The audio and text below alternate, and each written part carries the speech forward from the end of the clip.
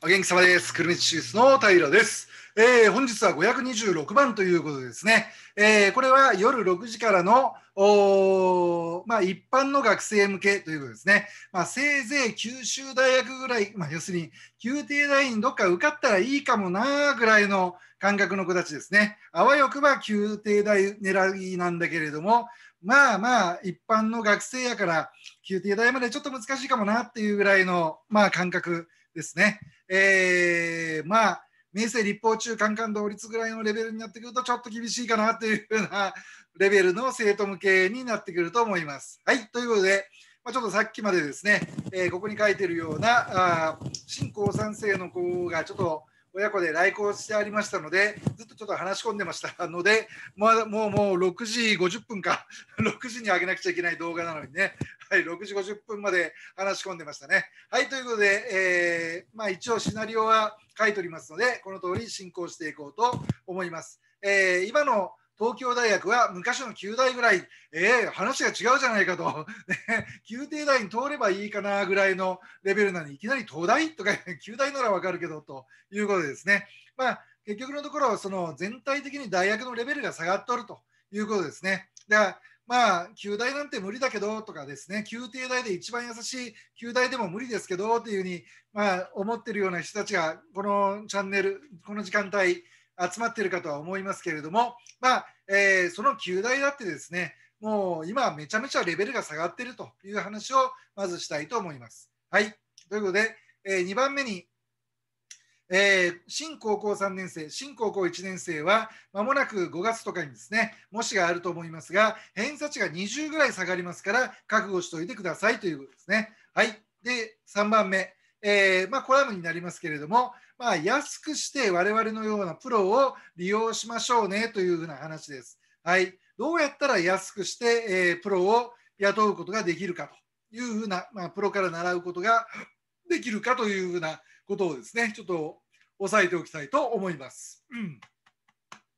ということで、やっと高校3年生で、ねえー男子が来ました。もう高1も高2も高卒浪人生もみんな今ですね、男子生徒も女子生徒も来てるのに、高校3年生だけが今女子ばっかりなんですよ、来てるのがですね。女子の生徒ばかりが入会希望で来てるので、そろそろ男子の新高3生もね、来ないかなと思ったら、やっと来ましたね。はい。ということで、この前の水曜日に電話があって、今日金曜日、来校しました。はい。ということで、えーこのチャンネルですね、74番の動画が一番再生回数が多くて、8634回ということで、58番の動画が勢いあって、えー5401回で44.7%の視聴維持率です。で、えーここのところ、ちょっと手抜きしております。前回のそのままペタッと貼ってますので、まだちょっとどんな感じになっているか、あの最近のチャンネル登録者見ておりませんが、まあ、チャンネル登録やグッドボタン、本当にありがとうございます。はい、ということでですね、3分経ちましたので、今日の内容に入りましょう。はい、ということで、えー宮廷大のですね、まあ、宮廷大で今、50名ぐらい、えー合格しているような高校のレベルっていうのが、実際に昔の宮廷大に1人ぐらいしか合格しないような高校のレベルまで下がってます。これはもう現実です。なんでかっていうと、今1学年200万人だった時代ですね。1学年200万人ぐらいいたようなすし詰め状態だった時代っていうのは、の宮廷大50人ぐらい通っていた高校、あ、違った、えっ、と、宮廷大に1人しか通っていなかったような学校のレベルっていうのは、今、その半分になってるわけですよね。100万人しか1学年いないような状況で、宮廷大を50人ぐらい合格させているような学校のレベルと変わらないぐらいになってます。はい。まあ、こっちの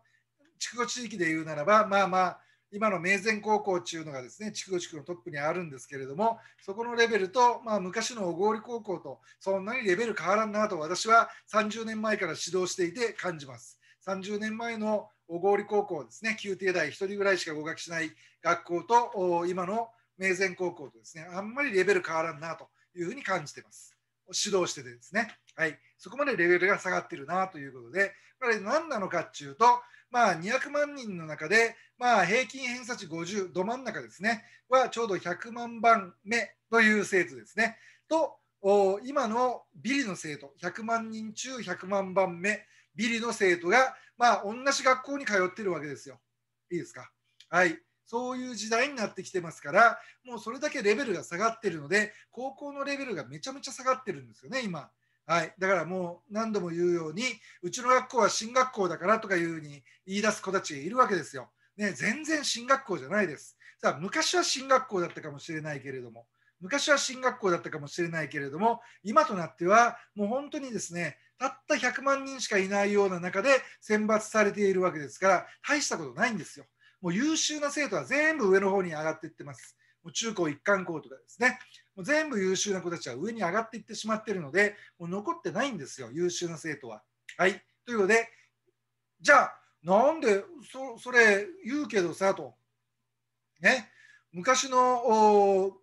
ねえー、宮廷大50人合格していた高校は今も宮廷大は50人合格してるよとね、全然変わってないじゃんっていうふうに言うかもしれないけれどもそれは種明かしがあって昔の東京大学は今の九州大学くらいのレベルしかないんですよ。そして今の九州大学っていうと昔の佐賀大学ぐらいのレベルしかないんですよ。まあ、佐賀大学っていうのは一般国立大学で一番レベルが低いんですけどね、はい、一番低い集団にある高校あ大学なんですけれどももうそれくらいレベル下がってます。だ昔佐賀大学に合格していたぐらいのレベルの生徒っていうのは今はもう九州大学ぐらい受かってますもんね。で昔九州大学ぐらいに受かってたなという生徒がもう今東大ぐらいに受かっちゃうんですよ。本当にそういう時代になったなというふうに感じてます。はい、ということで、まあ、昔と同じぐらいの対応がですねそういうその待遇かもうそういうような就職した時にですねもうボロクソにやられてるわけですよ。お前、ね、東京大学出てるのに、その程度の仕事しかできないのかと、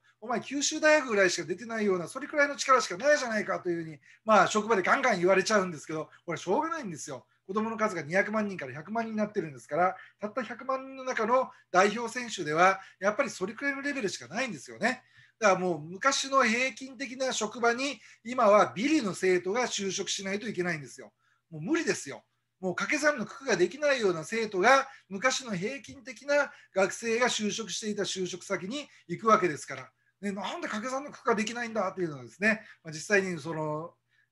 企業経営者たちと話すとですねもうびっくりするような話が聞こえてくるわけですね。昔だったら偏差値50ぐらいの生徒が入ってきたのに今はもうビリの生徒が入ってくると掛け算の九九ができないということですね。はい、ということでもう何が言いたいのかっていうとねえー、さっきちらっと言いましたが、まあ、九州大学受かればいいよなと、せめて宮廷大、あせめてじゃなかった、宮廷大に受かったら嬉しいよなというような生徒たちが集まっている時間帯、一般的な学生の集まっている時間帯の動画でございますので、ね、旧大に行くっていうのが、そんなにひどい、とんでもないことかっていうと、実は大したことじゃないんですよ。もう今時のその宮廷大なんて言うたら、ね、昔のもうその一般大学ぐらいのレベルしかないよっていうことです。そこをしっかり押さえておいてくださいねと。ね、だからそれは頑張ればなんとかなるんですよ。頑張れば。はい。ということで、えー、まあ、とにかくワンランク、ツーランク上をいかないとダメですよっていうことです。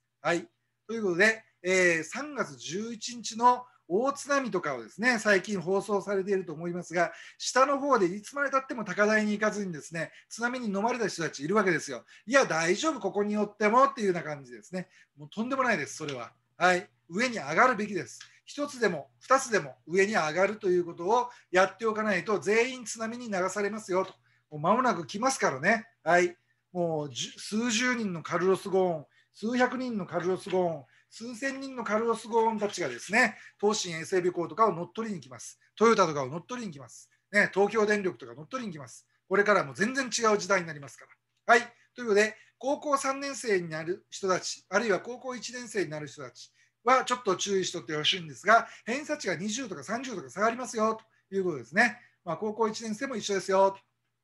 はい。で、高校2年生の時ですね、私なんかは、えー、数学の偏差値70代とか取ってたのが、高校3年生になったらいきなり50代に落ちるわけですよ。でどんなに頑張っても58止まりで60の壁が越えられないんですよ。なんじゃこりゃっていうようなことで焦ったわけですね、当時は。意味がわからん、わけがわからんと。いうことで最近の高校の先生たちものすごく丁寧ですから高校の先生たち最近この理由を教えてくれるんですよねでも私が高校生の頃なんちゅうのはそんなこと一切教えてくれんわけですよ学校側は で、なんかっていうと、高卒浪人生とかがドーンと入ってきてですね、高校3年生の大学受験生と高卒浪人生が当時っていうのは同じ人数いたんですよ。うん、こう当時の高校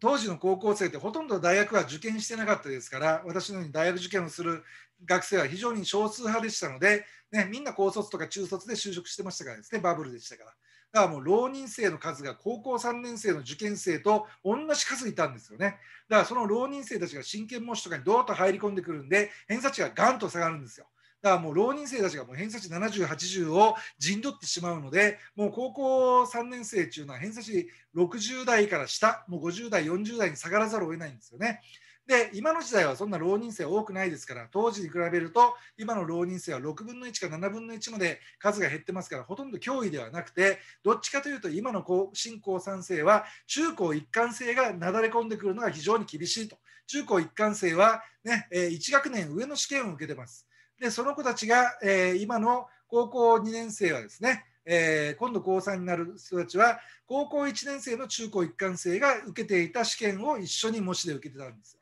だからこの子たちが実際高校3年生で一緒に模試を受けるようになるとこれガクッときますのでね。はい。ということで別にあなたの学力が低下したわけじゃないよっていうことだけ押さえておいてください。ここでいきなり失望する子たちいますからですね、こんなに学力下がったのかっていうんですね、もう今度の5月の8日か5月の9日の真剣模試ですね、ここでガクンと下がりますので、ね、5月の8日、5月の9日まで、俺は勉強してなかったのかみたいに錯覚する子たちがいますから、そうじゃないです。これはそういうふうに新しい生徒が参入しているからです。で、浪人生やねえー、中高一貫性が80代とかの偏差値を全部陣取ります、70代、80代を。で、中高一貫じゃない子たちっていうのが、新高三生として下の方に押し下げられますよね、これはしょうがないです。1年先勉強してますからね、彼らは。はい、ということで、えー、今度は新興一世の話ですけど新興一世の場合は商業高校や農業高校や工業高校とかに行くような子たちが全部抜けますから中学生の時に受けていた模試とは違って、えー、偏差値50より下の子たちがいなくなっちゃうわけですよ。今度の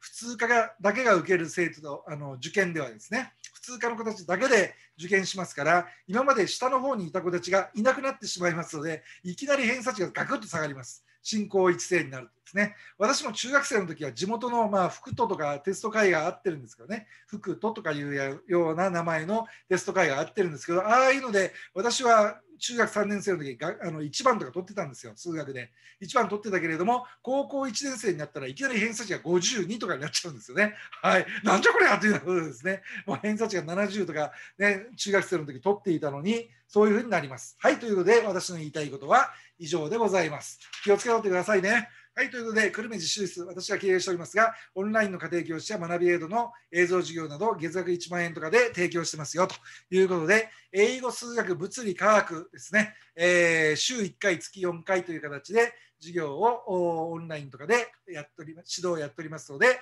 よろしくお願いします。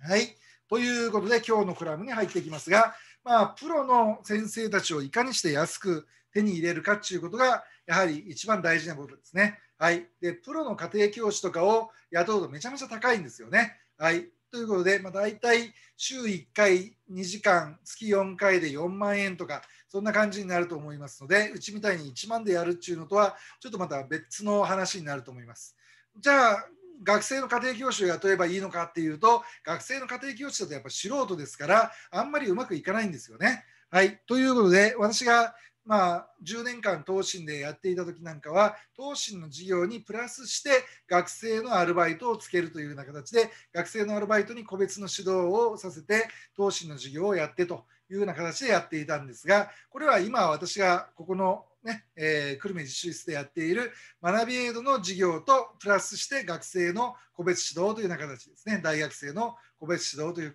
形では、まあ、当時と今とは違いますよというあの当時と今と同じような形でやってますよということですね。はい。で、その時にですね、東進でやってた時にですね、個別指導っていうのはこれ破綻しちゃったんですね。これうまくいかなかったんですよ。理由は簡単で、東進の事業の方にお金がドバッと取られちゃうわけですよ。うん。だから10万円持ってきたとしても10万円全部もう東進が持ってってしまうんですね。はい。そうなると学生のアルバイトに払うお金がないわけですよ。だからもうこれ破綻しちゃうんですね。だからこれ無理なんですよ。東進とかは。そういうふうなのですね。そうじゃなくて、学びエイドのように、月額1万円でプロの授業は受けますよと。ね、全教科、全科目受けますよと。その上で残りのお金を全部個別の方に回していくというふうなやり方をするのが一番ベストです。はい。ということで、じゃあ学生がやったらですね、これ素人だってさっき言ったやんというふうに思うかもしれませんが、素人であったとしても、ちゃんと我々プロがですね、そばについて監督しておけばいいわけですよ。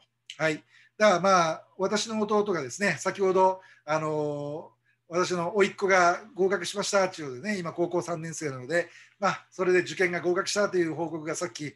連絡が来ましたので、やったというようなことで言ってたんですけど、私の弟がですね、まあ、生まれながらちょっと逆子だったんで、顔とかこうなっちゃってですね、整形手術が必要だったんですよ。これで地元の久留米大学の病院の方で整形手術を受けるんですけど、目のところとかですね、まぶたがこう、逆まぶた、あの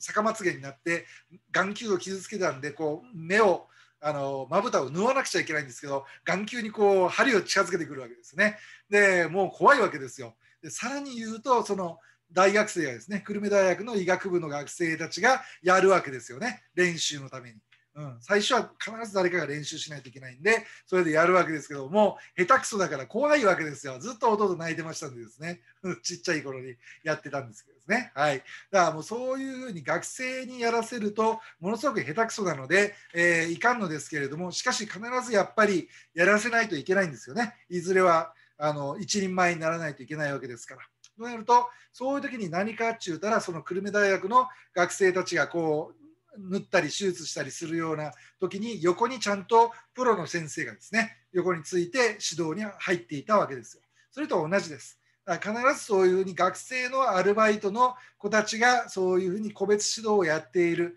というのがですねこの家庭教師並みに役に立ちます。すごくですね。はい。家庭教師なんかわざわざ雇わなくてそんな高くして雇わなくても個別の指導でやっていけば安くなりますよということで、まあ、最近家庭教師のトライさんなんかもですねあの個別指導やってるじゃないですか。はい、ね学生のアルバイトのやつで家庭教師でやっていったら素人だからっていうことで家庭教師のトライはえらいクレームつけられたんで最近はプロの家庭教師もいますよとかいうふうにあの最近でかやり始めたわけですよね。ところがうまくいかないわけですよ。うまくいかないからそこで家庭教師の、ね、トライさんは個別指導の塾を始めたわけですよ。そのやり方が一番いいやり方なんですよね。はい。こういうふうにプロがちゃんとそばについた上で学生のアルバイトが教えるというようなやり方が一番効率よく回りますのでですね。どっちかだけだと高かったり素人だったりしますからうまくいかないんですよ。だから両方つけておくのが一番安くてプロで、えー、うまくいくというやり方になります。そういうやり方をうちはやってます。はい、ということでですね、まあ、えー、何でしょうかね。えー、まあ、一番最後のところにまとめて書いてますが、安くてプロを狙いましょうねということですね。それが一番大事です。はい、もうそういうふうにお金がかかるだけかかってもっていうような、